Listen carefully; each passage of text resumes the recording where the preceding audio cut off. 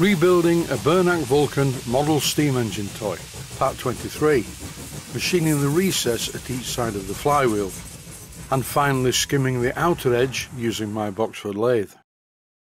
This is a much finer process than previously shown, and you have to be careful not to damage what has already taken a considerable time to make. Here's a high-speed clip running at 1000% to show what I had to do to get the flywheel to the stage you're about to see it in. This is footage from the previous episode, running at a much higher speed, and it's fascinating to see how easily the cutting tool removes the metal. I've always been fascinated by metalworking because it's such a solid medium to work with, and I especially take my hat off to blacksmiths. It's a different technique to what I use. Some of these blacksmiths are incredible. Once I got the part to this stage, I drilled the hole and reamed it 3 16ths of an inch in diameter.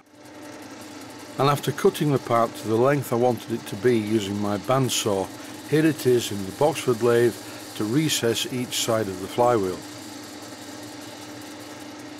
Initially I held the flywheel in the chuck holding it by the central spigot but this wasn't substantial enough so I decided to grip the flywheel by the outer edges and I pushed the flywheel into the chuck using a live centre it's definitely running true.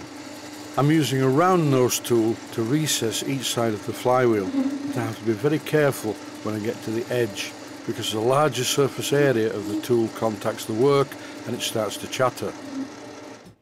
It's okay if you're aware of this, but if you blindly ram the tool into the corners, it will damage the work. And because I've already put quite a bit of time and effort into making the part so far, I do not want to destroy it by being stupid, clumsy and careless. Currently, I'm almost halfway through my prostate cancer radiotherapy sessions. And thankfully, today I don't have a session. The next one is tomorrow. I've got into the routine over the years of editing and voicing over the videos almost every morning but yesterday was a bit different. I had to be in Leeds, which is about 30 miles away, by nine o'clock in the morning, and I didn't sleep well, got out of bed at half past five, and felt fairly terrible and tired all day. And I voiced over yesterday's video late in the afternoon, when really I shouldn't have done. When I listen to playback, I can hear how tired my voice sounds, and yes, indeed, I was very tired. But hey ho, not too many left to go. In this clip I've turned the flywheel around in the chuck and I'm using the round nose tool but I've altered the angle of it because I need to clean up the spigot.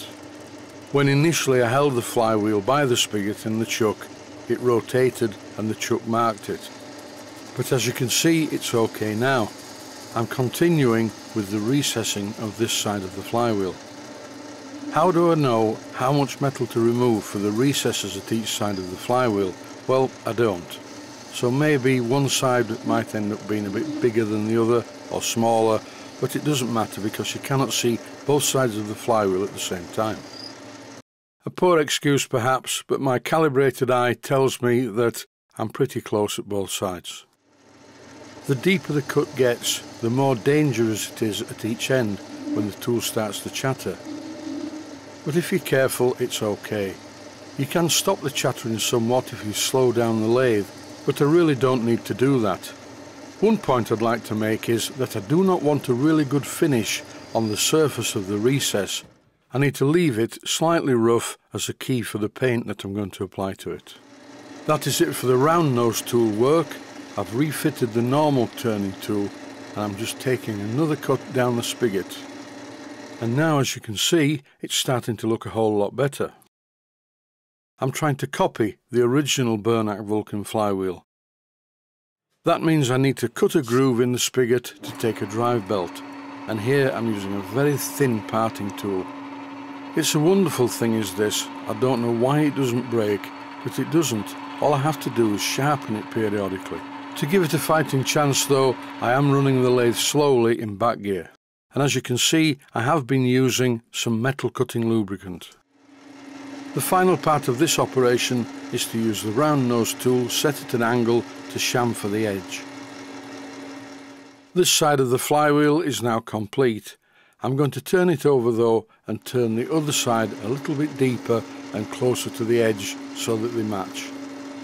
As before, I trued up the work in the chuck by using a live centre in the centre hole to push it into the correct position, and it's running true enough for the job. The chuck jaws have slightly marked the outside of the flywheel, but I have a fix for this.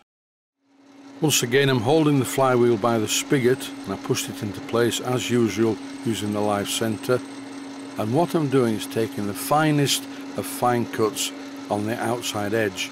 This gives a great finish, removes any chuck jaw marks and I finish off the edges with a piece of wet to dry sandpaper. I think the finish is more than good enough. I will be putting it back in the lathe once I've painted the front and rear and I'll probably polish up the outer edge at the same time. This finish and general quality of turning is more than good enough for now. I pushed the piece of steel that's going to be the crankshaft through the centre of the flywheel, then spun it in the engine frame. To demonstrate how well the crankshaft fits into the flywheel, I'm holding it in this position and the flywheel doesn't fall off. It's not an interference fit, it's just a very good fit and it's quite incredible to think that it came from this rough lump of steel. All that's left to do now is to perform a hydraulic pressure test on the boiler, make a crank web and crank pin, and press the crank web onto the flywheel, drill and thread the flywheel spigot to take a grub screw, and that will be it. So there'll be at least two more episodes to go, possibly three with the steam test. I have to say I've really enjoyed this particular project. It's simple yet very rewarding to see something take shape out of nothing. Stay safe, stay healthy, thanks for watching, and I hope you found it useful. Please take the time to visit my Mainsteam Models website and click on the section of the website that says Video Playlists. And by doing that, you can find other videos that you may like to watch. And by using the playlists, you can actually watch the videos back to back.